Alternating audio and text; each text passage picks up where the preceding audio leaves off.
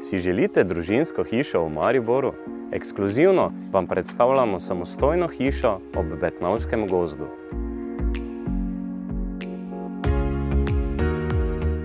Hiša je zelo prostorna.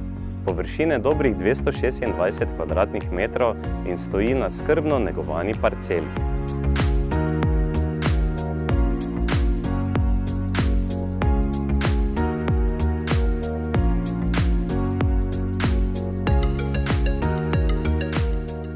Zgornji etaži so tri spalnice, od tega ena z balkonom, kopalnica z balkonom za sušenje ter stopnišče.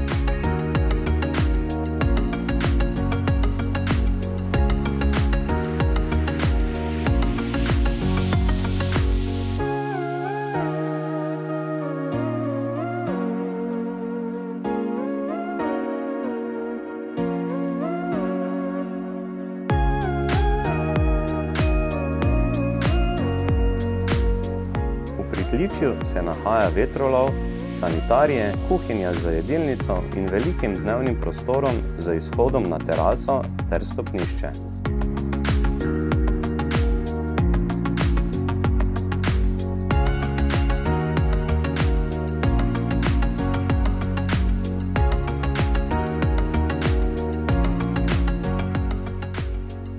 Ogrevana je s pečjo na olje, centralno radiatorsko.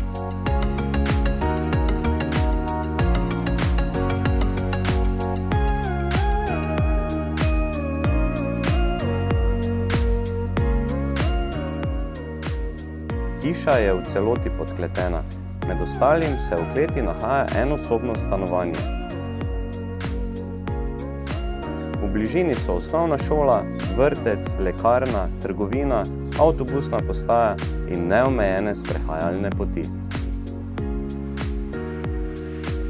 Podstrešje je dostopno.